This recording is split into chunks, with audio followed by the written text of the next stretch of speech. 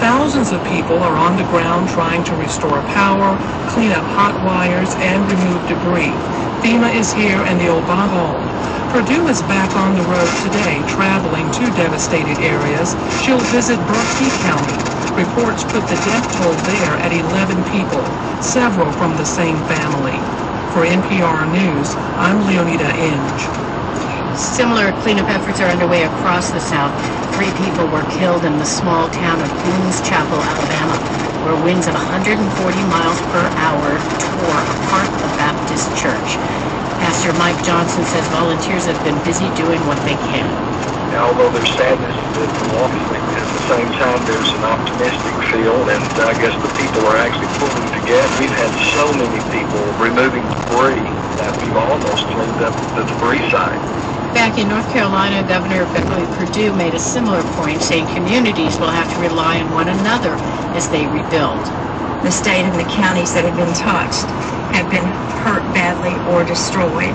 And the best thing that all of us can begin to think about, other than our prayers, is how we can reach out and help our neighbors. The Federal Emergency Management Agency is sending teams to several of the states hit by the storms.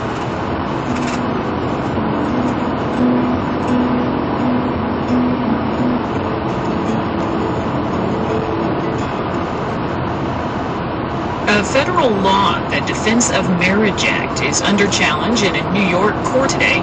Congress passed the law 15 years ago by big majorities. It defines marriage as being between a man and a woman.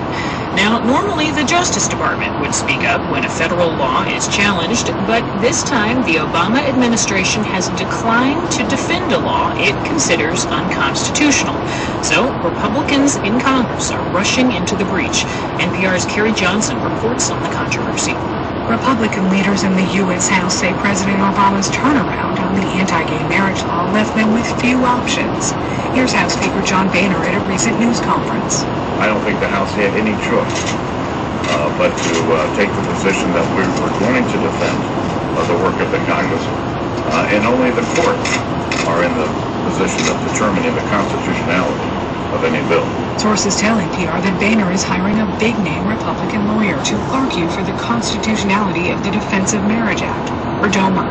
For the past two years, the Obama Justice Department filled that role, backing the law in courts across the country. But in February, Mr. Obama instructed the Justice Department to back off. The change in course has conservatives hopping mad. Far from cautious and deferential, the president's decision was a badly opportunistic attempt to free himself